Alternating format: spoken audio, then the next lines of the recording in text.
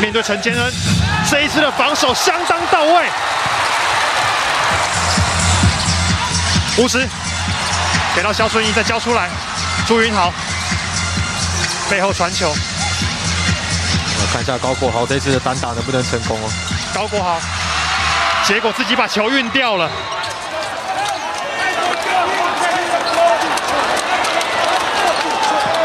陈建仁刚刚的防守非常的漂亮。我看到这波的进攻，其实前面巫师拖车。